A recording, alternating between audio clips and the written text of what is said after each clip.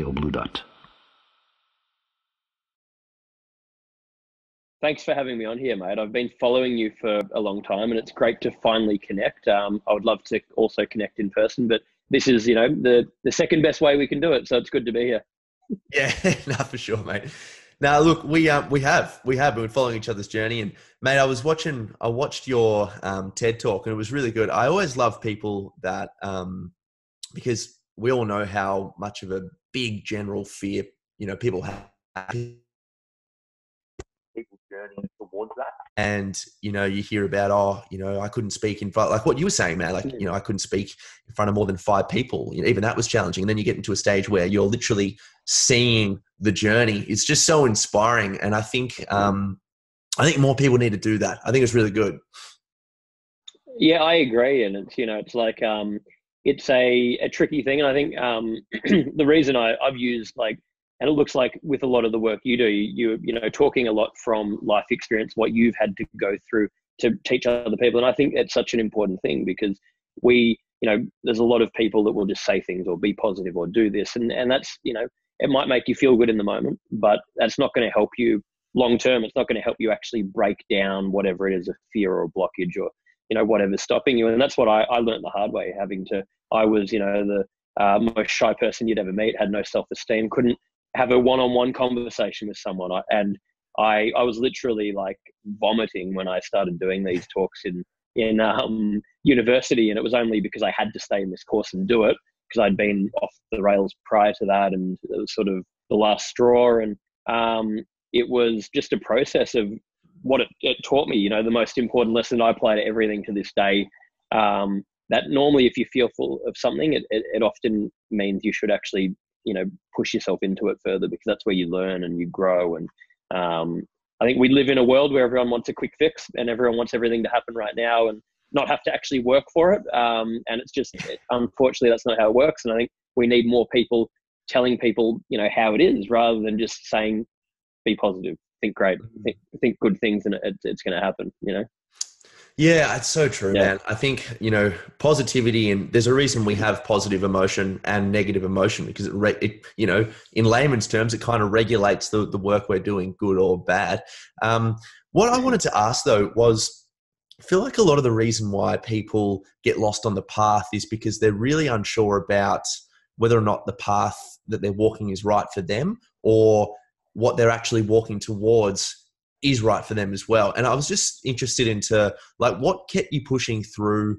Um, like what, why was public speaking so important for you? Um, I, I mean, it was, I guess it was just something I, number one, I wanted to confront a fear. Um, it sort of was a weird, weird thing for me because naturally I've actually always, you know, wanted to be on stage performing, doing things like that. That's why I'm, you know, I've been pursuing acting for five years now. But somewhere in the middle. You know, as a kid, I was very out there and you know following who I being myself and who I wanted to be. And then a lot of things happened and really um, created blockages. And uh, when the opportunity arose and I started doing it, it just sort of led to me um, continuing. Um, and another another part, probably the bigger part of it is. I, I fell into um, mental health advocacy through my own struggle, through being in a position where I was in the media getting asked to talk about it. And I started getting asked to speak at schools and organizations, and it was really a, a you know, a, a, it started building momentum. I was seeing how big of an issue it was. I was seeing that this was actually helping people, um, and I just fell in love with doing it because, um, you know, I don't think, think there's anything more fulfilling than being able to feel like in some small way you're helping someone make a, a change in their life.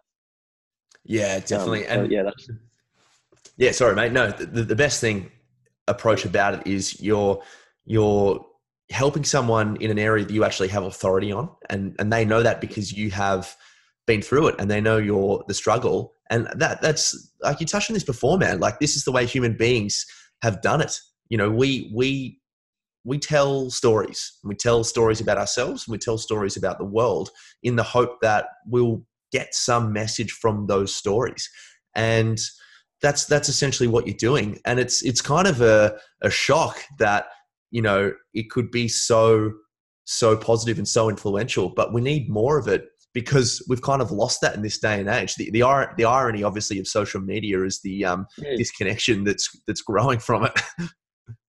Absolutely, and and as you're saying, it, it's so true. We, um, you know, we need more of it, and it feels when you're doing it, and sh- when I'm sharing a story, a lot of the time I felt like, you know, surely is this really going to help someone? I'm, you know, saying similar things a lot of the time, but you realize it, it's needed more than ever because people are screaming for you know honesty and realism but they don't know how to how to approach it a lot of the time. And it's not their fault. It's social conditioning.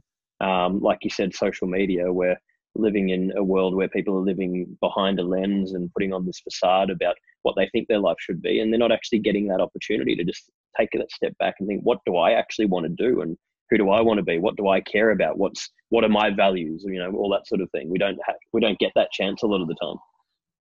Yeah, yeah, definitely, man. That, that's a that's a big topic of discussion on this podcast. It's about um, you know that finding that meaning and, and that purpose, and it it starts um, with asking for help. Like, oh, excuse me, how, how did you find meaning? You know, not to, not to just start off in such a deep way. How did you find meaning in your life, mate? But like, what exactly getting you out of bed every day? Because I, you know, let's just say for example, you know, you're in that rut. It's like I can't seem to find the energy to get out of bed every day. Like, what gets you out of bed? It's like you know, very quickly people start talking about what's truly important in life. You know, their the loved ones, the experiences they get at a at a job or, or something they do that fulfills them. You know, all, all that sort of thing. Um, you know, at the end of the at the talk, you were speaking about um, the Golden Gate Bridge and how many people mm-hmm. um, tend to jump off that. And my mate and I used to do a podcast together, and we were lucky enough to actually interview the he's called the guardian of the Golden Gate Bridge. His name's Kevin Briggs. For a long time, he was responsible for actually talking people down. Have you heard of Kevin Briggs? Well, I haven't. No, I um, I'll have to. I'll look this up after. Yeah. Yeah, definitely, dude. His TED talk is is crazy. And what's what oh, yeah. the most amazing thing I got from from speaking to him was that you think about suicide as this very kind of touchy subject like oh my god they're suicidal they're doing this they're doing this you know but you mentioned this in in your talk it's they are just dying for someone to say hey i can see you you know i know mm-hmm. you exist like let's have a conversation. And kevin briggs was was saying the exact same thing. He said you know obviously there were some cases where it didn't go to plan which is very unfortunate. And that would mm. that would take a toll on its him psych- on him psychologically. But more often than not he was very easily able to talk these people down because they just felt so disconnected and so depressed that by him just standing there and listening to them for an hour, 20 minutes, he told me um, he once stood there for eight hours in the rain speaking to this person before they came off the bridge. Just that wow. is all they needed. And that's the difference between life and death. It was just ridiculous. Unbelievable. And it, it, yeah, it, it's a scary thing, isn't it? It's like, um, and I think, you know, a lot of people have maybe not been to that point, but I think most of us can relate in some way when we've you know been in that dark spot. Our mind you know goes on that trail, and we um, build up these scenarios, and you get into that emotional state. And um, it is it's just people want to be heard. They need to um, understand that you know it, it, when we are going through that period, it's not going to be forever. No emotion, you know, good or bad, lasts forever, but it's a um, yeah, it's a pretty terrifying thing with how big big of a problem it's become. Um, and uh, yeah, there can't be enough done about it. I think I, I, actually saw you another thing you had posted yesterday that you'd reposted what Russell Brand said, and I thought that was um, fantastic. I, I, I, love Russell Brand. I love that oh, he, man. you know, cele- using his celebrity to say something like that, and you know, it's just like I was like, "Fuck, that's that's awesome." That's you know, that made me feel like, oh, a lot of the stuff that I've thought about in the past. Just seeing that, you know, you, you hear it from these people, it has an impact, and it, it just shows we all need to do. I think if everyone could just in, make some sort of effort to do, you know, one small thing to, to help in this area, it, it'll make a massive change. Ma- massive man, yeah, for sure.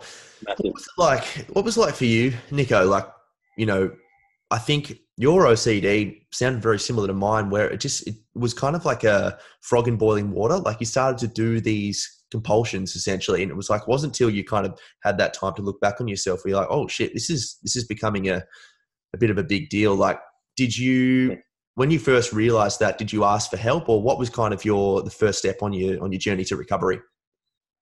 Uh, yeah, it was a very long sort of drawn out road. Um, I, I mean, it manifested for me in sport. I, I, was always into sports, and it sort of progressively got worse, and it, it was an obsession. Um, I was like just training crazy amounts, like seven hours a day as a 11, 12 year old kid. And I was like having to hide it from my parents. They knew it was a problem, but they didn't know to what extent. And it was this weird compulsion where I even logically, I remember even thinking back to, to then, logically, I knew that the level of training wasn't actually going to help me perform better. Um, I was training in, in, middle distance running at the time.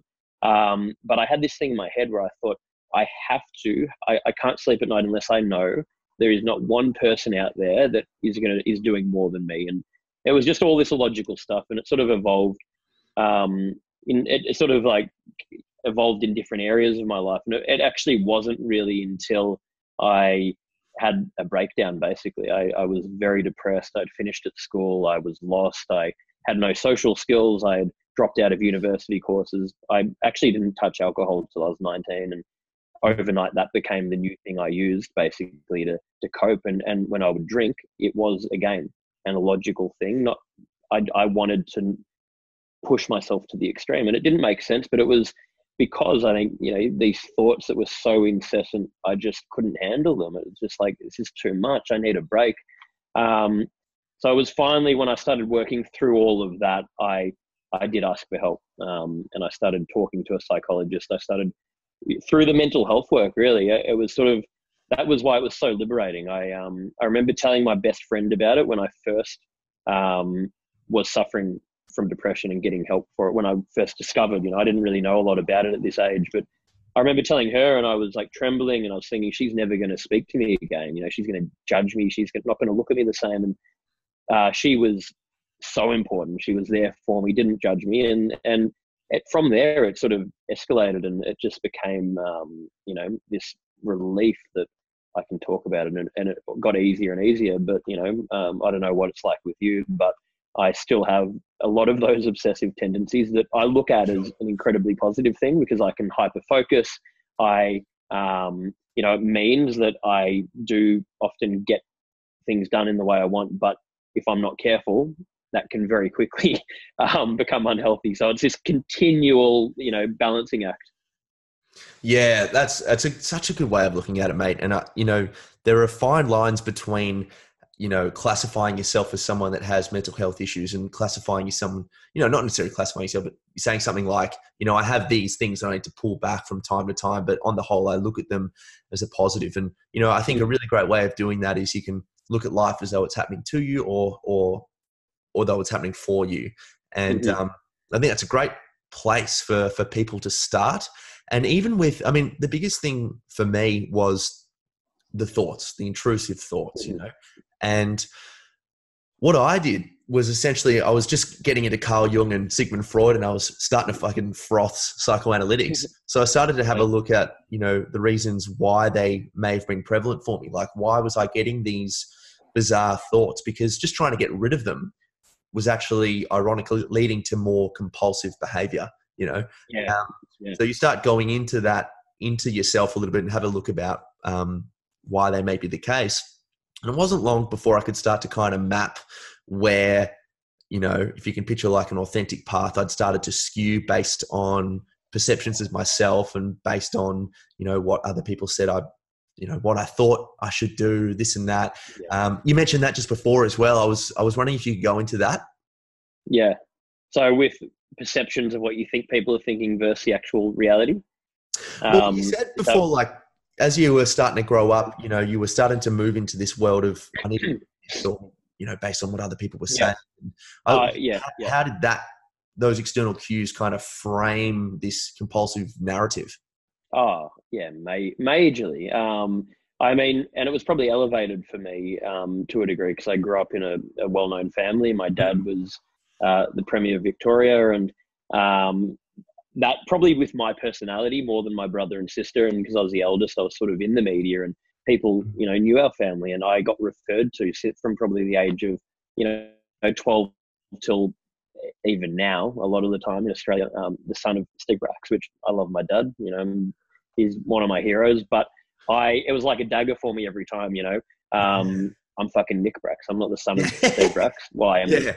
I am, but that's not my title. You know, I'm my own person. Um, so it was it was this fuel where I was like, okay, I need to do something extreme. I need to become. What can I do? How can I become famous? How can I, you know, become a bigger deal than my father? So it is now Nick Bracks, um, mm. and it was sort of that with also, I guess, uh, you know, insecurities. I felt like if I became an, a professional athlete, that would validate me because I wasn't enough without that.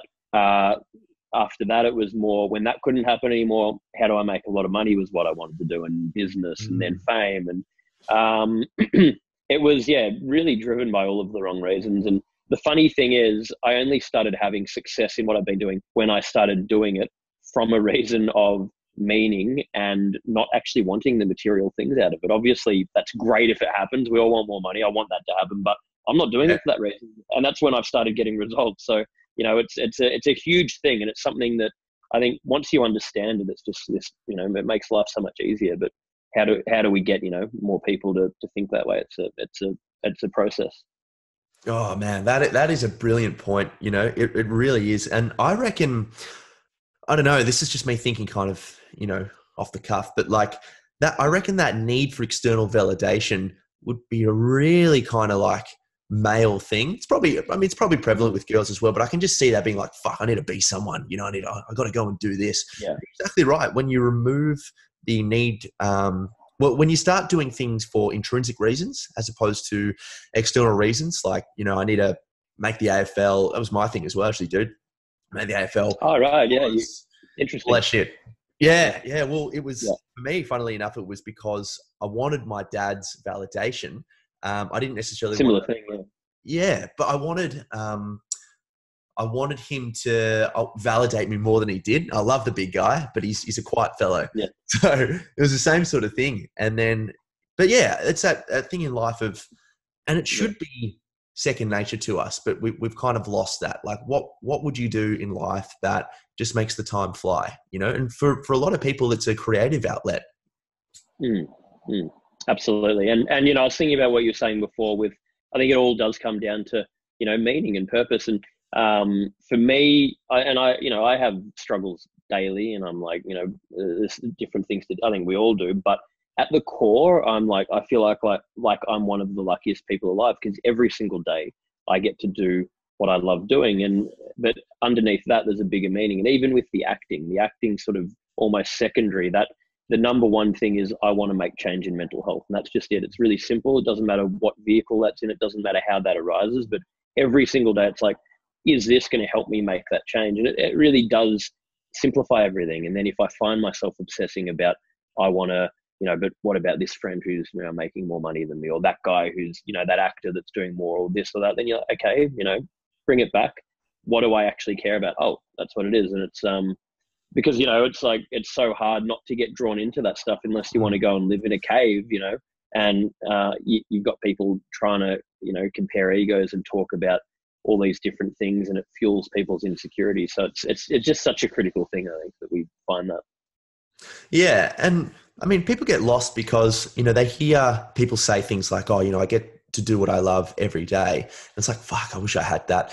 But the person that's living that life didn't just one day decide I'm going to live my life as though I love it and do what I get to do every day. It's like no, these are incremental changes. Like you didn't get to that position, yeah. you know, overnight. You probably got to that incrementally by earning a bit more money, working a lot harder on the weekends, and then slowly kind of filtering that into your working life. And it, it takes a long time. And you're exactly right, man. That and we all do it. You know, I think it's a part of our evolutionary circuitry to compare, to analyze, you know, to to perceive yeah. threat. But if we mm. can just learn or, or at least just catch ourselves comparing ourselves to other people as opposed to as the cliche goes who we were yesterday it, it's going to be it's going to be an easier fight because you're not fighting. Oh for sure for sure. And i yeah i love the way you know you put all that and it's and it's just something that's so important to keep realizing that um, we all want more meaning and i think meaning is one of the you know important things that everyone needs but you don't you don't just find it. You don't just have an epiphany. You don't wake up. You you sort of work for meaning. And you know, I if I when I first started in mental health, I knew nothing about it, but I did it. I've done it, like you said, I've done it for ten years now. I've been done, you know, hundreds, almost probably in the thousands of talks, and now I'm like, well, I feel like an authority authority figure in that area, and that, that is meaningful because it's part of my, such a big part of me. So, but you've got to sort of fight for that, really. Yeah, and you've cultivated it. You've built it yourself. You can look back on it, and you're like, "Wow, I actually built that from the ground up." You know, um, there's there's a great book. Um, it's called Brave New World by Aldous Huxley. And okay, basically, yeah. yeah. it's really good. It's it's basically it's fucking scary, dude. He um, wrote this book based on what a world would be like where this elite class could tyrannize the rest of the population because they made them feel like they were actually free um, when they were just giving them these these soma pills, is what they called them, um, and they could just do the worst work. It's very scary if you think about antidepressants and kind of how we live in this day and age. But yeah, yeah. The, um, the kind of idea behind that was um, there was a there was a prologue written by some some fellow who wrote the um, prologue to the book, and there was a part in his prologue that really stood out to me. And he said something like, "When everything is free and available, nothing has any meaning." And yep it got me thinking about what you were saying just then. You know, we have access to so much. Like you go on Netflix and it takes us hours to choose a movie just because we've got everything we could ever hope for and more. You know, even what we're doing now, you know, the worst thing we complain about is fucking slow Wi-Fi. You know, but you got to live in Bali, right? And then there's a lady there who's working 15 hours a day, smiling her head off purely mm-hmm. because she has a job. Yep. Yep. Absolutely. Yeah. Um, and I, yeah, I've seen that in, I, I think about that a lot. And um, it is, it's exactly like you're saying. And, and when I've been in Africa, I was in India last year, um, you know, connecting with all these locals that were basically in poverty, you know, had, had nothing, could, didn't even have proper shelter, but they, they were happy and you can see they're happy and they're connected. And um, a lot of it is because they don't even, they don't have, it can't enter their psyche that there's even an opportunity for something different. You know, we all have the luxury of thinking, okay, if I don't like this job I'm doing, or I want to go travel here or do this, like I can probably do it. Yeah. They are literally like, if I don't get up and find food and you know look after my family and get fresh water or whatever, I will die. And there is no other option for me. That that doesn't exist. That's dreamland. So this is my reality. So I'm like so immersed, so present in it, and they actually they're happy because that, that's a fundamental of what we all need. It's just connection and being present and you know just really immersing in what you're doing. But um, it's the the positive and negative of the, of the world we live in right now where things are like you said incredibly available. It is overwhelming. Even if you you know how do you make a decision like you said with netflix and things like that when there's just yeah. opportunities? Yeah 100% and you know because they because their role is just so you know like we exactly right. Like we have to get this food we have to get this water we have to you know we have to i have to work today or else my family will starve. I mean i mean that's a what better analogy or example could you have of a meaningful life? Because you have so much responsibility that rests upon you. And when you actually fulfill your job it's like i feel pretty good about myself you know? For sure for sure. And i think that's why um, a lot of incredibly wealthy people end up so depressed. And I, I know i've met quite a few people that have had extreme wealth but have been very very unhappy and it's because you sort of lose meaning and you have all that money and it's like okay great that's a good opportunity to be able to do things more meaningful but a lot of the time it becomes no i need more and how do i you know I, I want as much as that guy has now or i want to be a mm-hmm. billionaire now because i'm worth this and and that's and then that, you become depressed because it's like hang on i'm meant to i should be the happiest person in the world because i've got everything i've got seemingly what we all want i got it how come i'm still unhappy now I'm more unhappy because the thing that I fought for and almost killed myself for, in some cases, a lot of these people actually almost do die from stress, you know, years of stress and having heart attacks from pushing. I got it. I'm still unhappy. Okay, now I'm like really at rock bottom. So it's like it's it's it's this skewed thing, isn't it? Yeah, definitely, man. I was interested what your because you you've done a lot of these talks. Um, what do you see as because I'm sure you've done talks at um, high schools and things like that.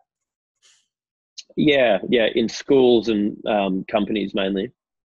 Yeah, I was just interested in what you kind of see um, is happening with like our kids, and you know, just the, the, rise of this social media age and some of the dangers that are associated with kind of like the way they live they live their life.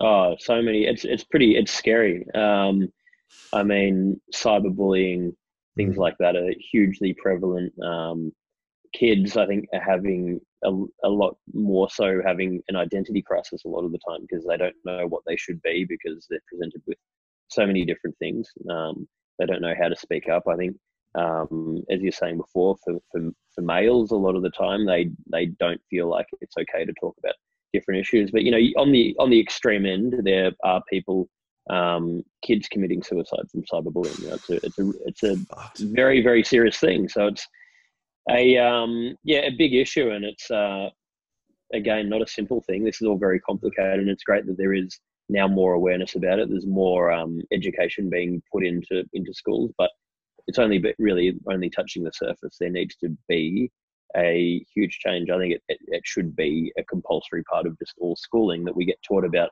You know, it's a, it's a, for me that's the thing that's a, the biggest change that needs to be made long term. You know, we yes we need to have services out there for all age groups, but we're only going to make long change until we, on that societal level, completely restructure how we're taught. You know, if I if I was taught from a young age, and this is from parenting as well, it's not our parents' fault. They're you know generationally um, things need to change. They've been yep. taught to a lot of the time not to express and not how not knowing how to do it. We don't get taught it in school. Then we have to work it out ourselves later. And if that can change, that's how you make such a big difference long term.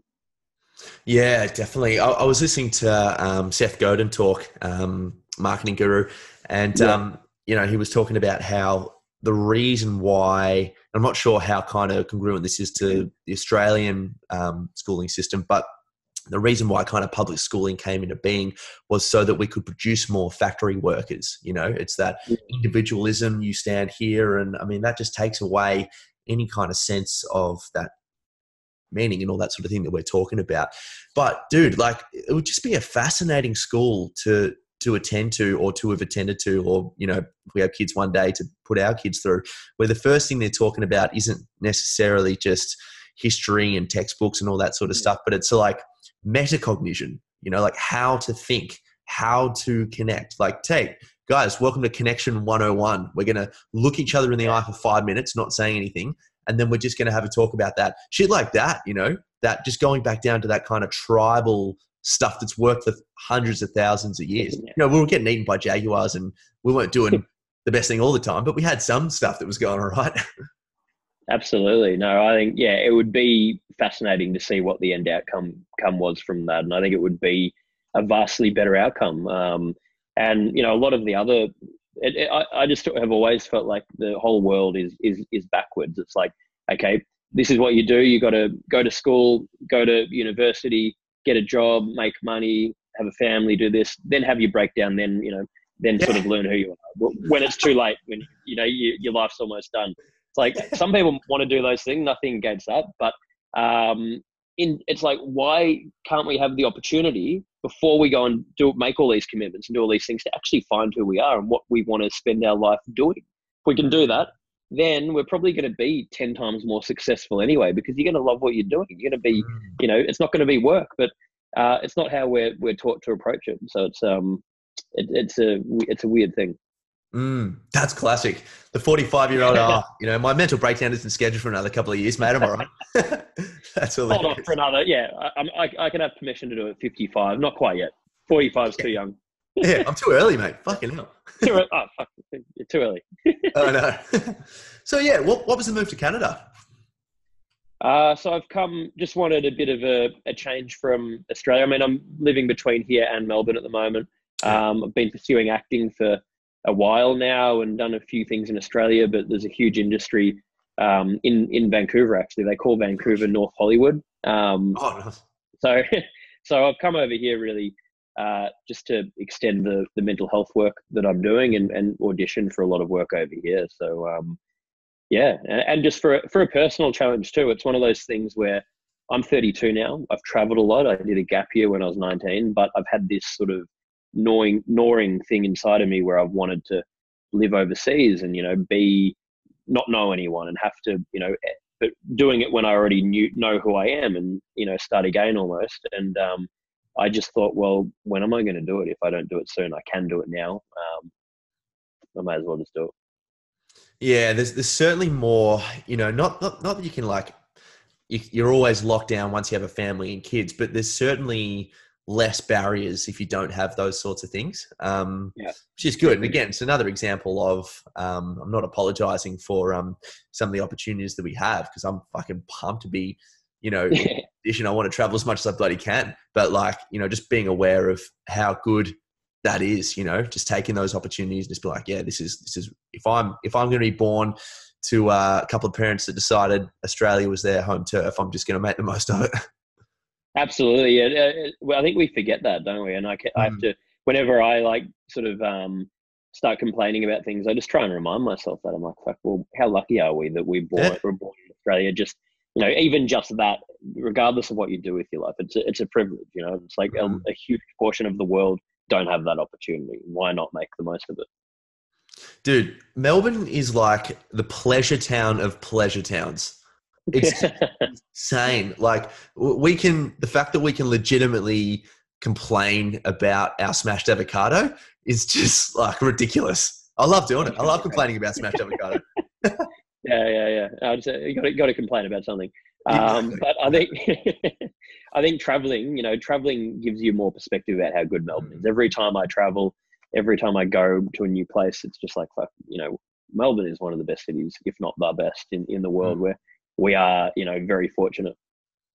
Yeah, and there's a really good um, psychological perspective on on what you just said. You know, for people that because um, I'm always trying to think about how you know we can kind of add little practical tools and steps in, in these sorts of podcasts. And yeah. um, challenge is, is one of them. You know, if you find that you're really struggling to kind of move through the day, uni's hard, works hard, all this sort of thing. Um, try fast for 24 hours. See if you can do it, you know, or just take something yeah. away because, like, you know, a, a big pizza when you've kind of already eaten lunch, afternoon tea, not very appealing. But a small biscuit to someone that hasn't eaten in four days is like the definition of happiness. Exactly. Yeah. Yeah. It's so true. So true.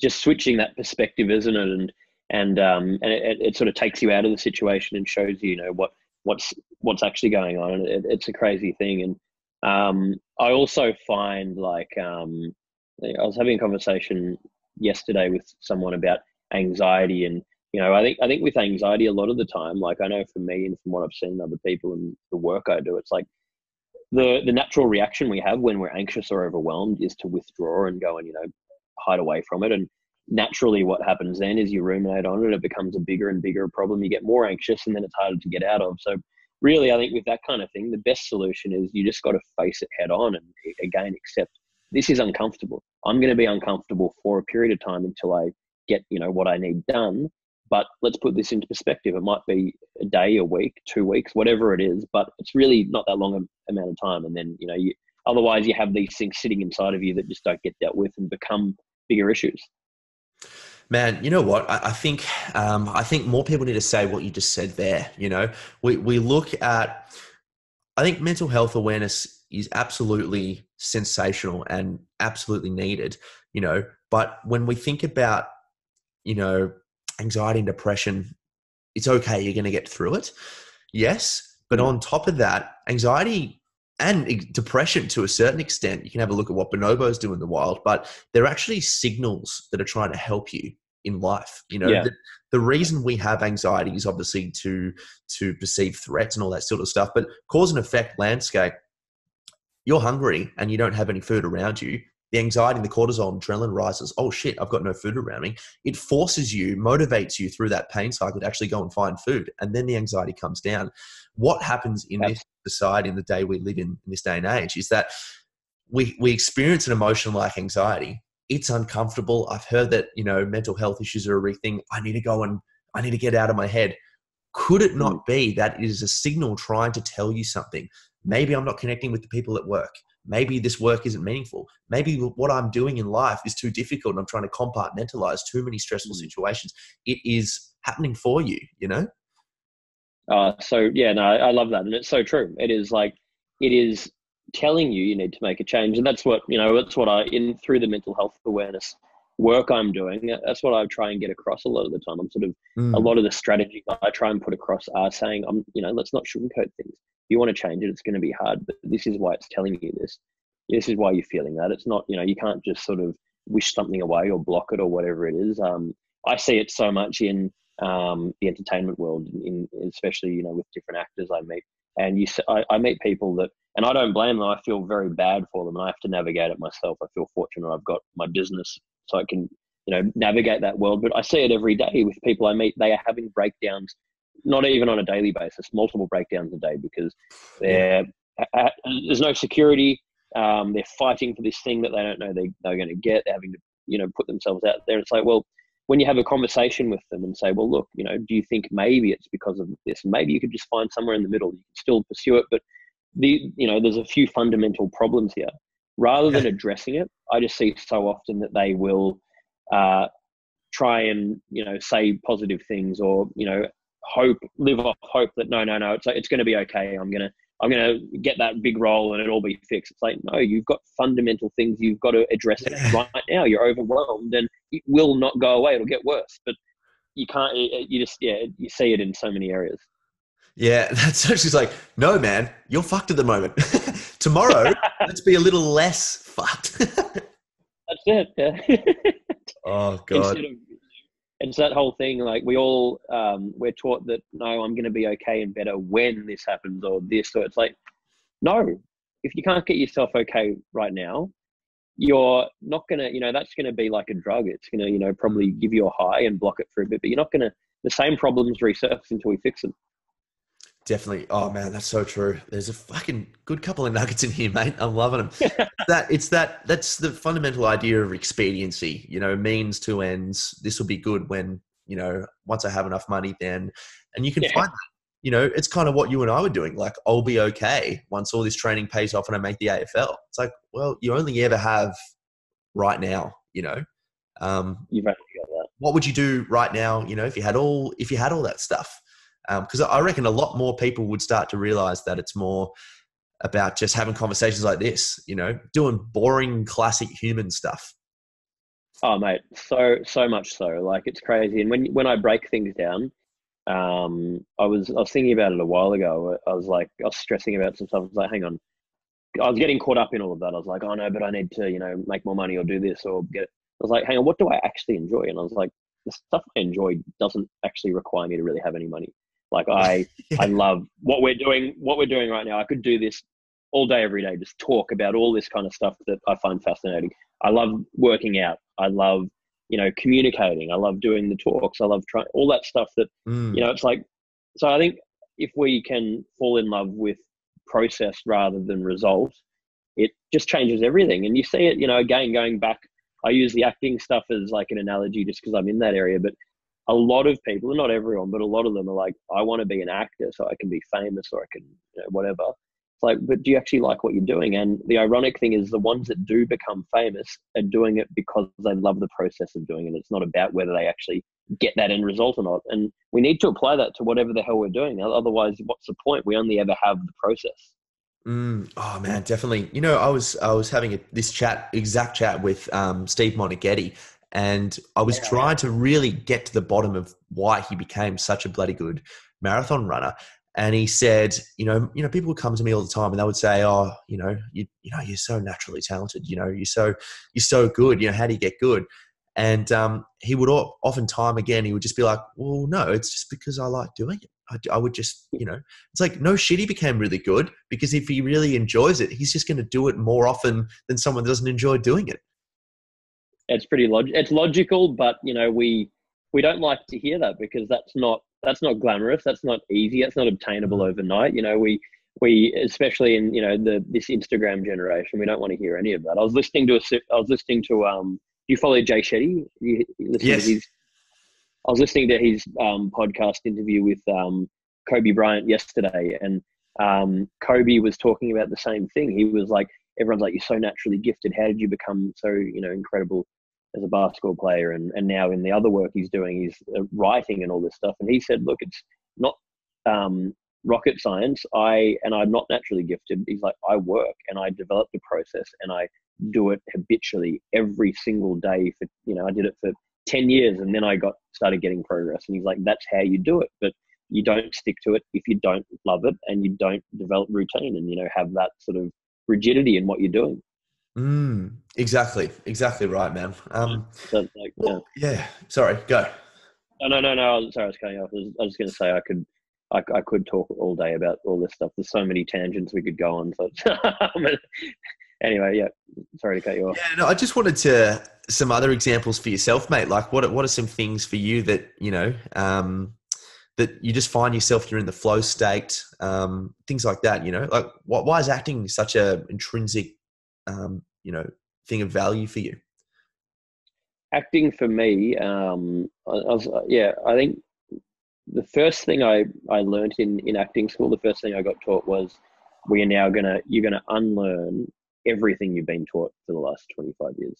Oh, wow. um, and what I mean by that, or what he meant was, you know, like you were talking about earlier, with all of this social conditioning and the stuff we're not taught in school about, like you said, you know, how about you look someone in the eyes and just, you know, be still and look at each other for five minutes. Most people can't do it. Like these are all the things you get taught in acting. And uh, to, to, be a, a really good actor, you have to be able to be completely have no ego, be comfortable with yourself, you know, let go of things, understand other people. And I got fascinated fascinated about it from that. I actually I got into it for the wrong reason. I um, I was on a reality show and in the media, and I was young and naive and um, didn't know who I was. And I thought this feels great. You know, I, people know who I am. I want more of this. What can I do? Oh, maybe acting. Got into it. Uh, probably after the first class I went to, I thought, fucking hell, this. I'm not going to last in this if um for that. And then I I stuck at it, and then I thought this is completely different to you know. Eventually, I was like, I don't care if I even get work in this. This is the best fucking self development thing I've ever done because you're having to just be present, listen to someone, you know, understand you. You have to understand yourself completely to be able to play different characters, understand other people, and I found it fascinating and um, just another way to be able to connect and communicate and tell stories. And um, you know, a lot of people actually say to me, they're like, it's so contradictory that you know you, you're doing two vastly different things you're a mental health advocate and you're pursuing acting i'm like actually you know when you when i really break it down they're they're all they're both very very similar it's about communication really and, and mm. telling a story yeah exactly so that's why exactly I, right. yeah. yeah. Do you have any other ones? Like writing playing music? Other things I, other sort of hobbies i love doing or um, yeah. um i i need to find more. I um i was talking to someone about this the other day as well, actually, and they're saying, Nick, you got to go and you know find a hobby that's not about work. And I agree because probably the big, the one problem I have now is I run my mental health business um, and I do acting, and it, it really means pretty much, you know, if I really think about it. Um, basically from the moment I wake up to the moment I go to bed. If I'm not working on one of the two things, I'm thinking about it. And you yeah. don't switch off for it. It's an obsession to a degree um, but it's not healthy. You know, it means I can get burnt out, and um, it would be good to have a healthy outlet. So, um, I mean, for me at the moment, I've, I've trained my whole life. I love exercise. I love, you know, in Vancouver right now. I love going for a hike, getting in nature, all that kind of stuff. I just, I love. Um, but I think it would be good to find some other hobby that's purely just for the sake of doing the hobby. just for the hobby, dude. You can look at it two ways. Like an obsession is like a you know, I have to do this. It comes from like a need, you know, of scarcity. It's very negative. But um, what you're doing sounds like it's it's just all about devotion. Like you're giving because it's what you love to do and it helps other people at the same time. So I think um, yeah, devoted to acting and mental health, which is which is sick. Yeah, no, thank you, man. But um, yeah, I pro- probably do need to find a little bit of balance occasionally, but at the same time, yeah, like, like you're saying, it's like it's um, it is. I feel fortunate, and I think probably similar to you that um, yes, we all want, you know, obviously we all want more money or whatever because life's expensive and we need things to do to do stuff. But at the core, I think I think the luckiest people in the world are the ones that just get to do something that they truly love mm. and that gives them meaning every day. And you know, there's not a lot of people that are living their life that way from from what I see anyway. Man, I don't know about you, but um, I'm in the mental health game just to get heaps of checks and millions of dollars. So, mate, that's the real reason I put it on exactly. Tinder that I'm in health, and you know, it's like that's that's the latest sort of thing, isn't it? It's it's cool yeah. to be in mental health. So yeah. that's oh, the real reason. This guy has anxiety. Look how hot he is. Ah, oh. how vulnerable that guy is. I, I want I want to go on a date with him. that's right. He's, he's so courageous. yeah. That's a real. Oh, man. There you go. I love it. When you go, what's um, what's next for you, mate? What's what's coming up? Uh, I am. So I'm actually launching a digital side of the mental health work I, I do. So um, um, probably in the next two weeks I'll have that up and running. So it's mainly video education. I've brought on a whole range of different experts and made um, a mental health education package basically that I'm going to be putting out there. So really, it's been a lot of work, but I'm yeah, I'm super excited to get it out there, and um, that's been you know really the sort of biggest thing I'm I'm working on right now. Yeah. Oh, mate, that's awesome. Yeah. Chuck us um, chuck us all the links, and we'll by the time that launches, I think this podcast will be up. So chuck us all the links, and oh, we'll, we'll get it out. Yeah, perfect, mate. Appreciate it. I will. I'll send it through. Sure. Well, mate, thanks so much for coming on the show. This, this definitely won't be uh, the first and only time. It will be the first, but it won't be the last. Uh, hopefully, next time we can do it in person, man. It'd be good. Absolutely, mate. I'd love to do another one. We'll do one in Melbourne or whenever we meet in person. But yeah, thank you for having me on here. I've been, you know, been wanting to do this with you for a while, and uh, you know, I love all the work you're doing. It's uh, very engaging and inspiring, and it's it's great to chat with you. So thank you. Oh, legend. All right, Tom. Well, thanks for tuning in, and uh, that's a wrap.